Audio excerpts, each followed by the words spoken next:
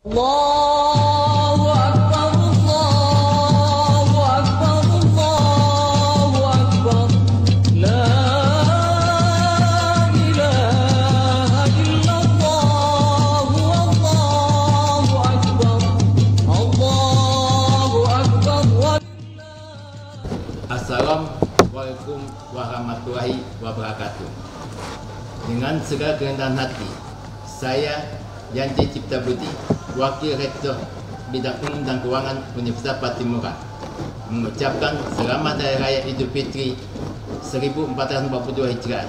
Mohon maaf lahir dan batin.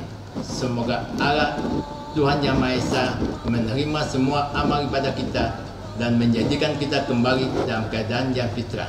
Sekian, terima kasih.